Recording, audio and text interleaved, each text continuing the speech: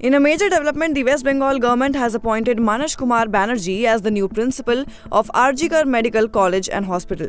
This decision comes after Suhrita Paul was removed from her position as per the demand by protesting students of the college. The action was taken by Bengal's Health Secretary Narayan Swarup Nigam. Additionally, the Vice Principal of the Medical College, MSVP Bulbul Mukhopadhyay, and the head of the Chest Medicine Department, Arunab Datta Chaudhary, were also removed from their posts. Following the outrage over the rape and death of a trainee doctor in Kolkata, protests intensified against the then principal of RG Kar Hospital, Sandeep Ghosh.